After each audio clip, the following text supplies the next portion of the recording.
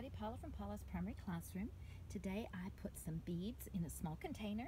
This is great if you've just got one or two kiddos. Um, you know, if you've got a classroom, you need a larger container, but for a small group at home, um, this is perfect. So some things that you might want to do if you've got this kind of situation. Great for kids to pour and scoop.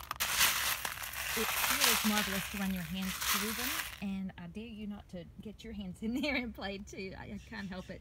But it also sets us up for some sorting activities. We might want to sort by color. Maybe your children are sorting by style or by shape. And all of those are important math skills that are helping them stay uh, on top of their math or get ready for school. So I hope you have fun playing with your kiddos. Have an awesome day.